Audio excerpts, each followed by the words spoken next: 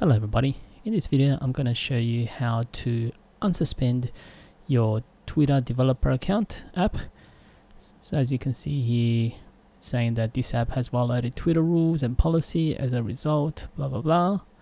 Now the thing is, with the changes that Twitter has made with the API, you're basically not getting the free version anymore. It's no longer free, there's different tiers there is a very a free version on the new tier and there is also the basic tier so at the moment I'm going to stick with the free tier and in order to do this what you've got to do if you you can see that it's been suspended here.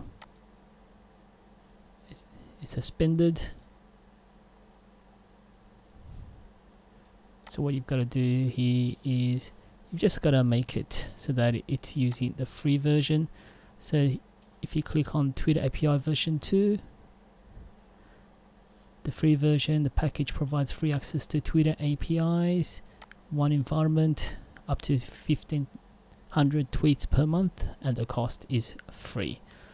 There is the basic one where you pay $100 a month and you can have two apps and you can also retrieve 10,000 tweets per month so the app that I'm using, I'm just using it to schedule Twitter posts.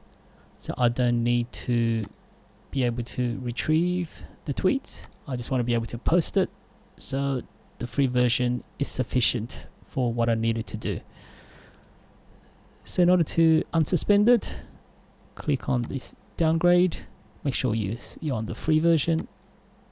Then downgrade. And saying your subscription is now downgraded to the free version and there you go it's no longer suspended.